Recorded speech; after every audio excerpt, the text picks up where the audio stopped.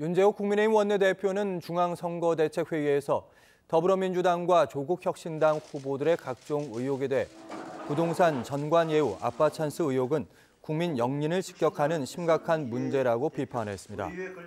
윤 원내대표는 조국혁신당 박은정 후보의 남편 이종근 변호사의 초고액 수임료 전관 예우 의혹과 민주당 양문석 후보의 편법 대출 논란을 겨냥했습니다.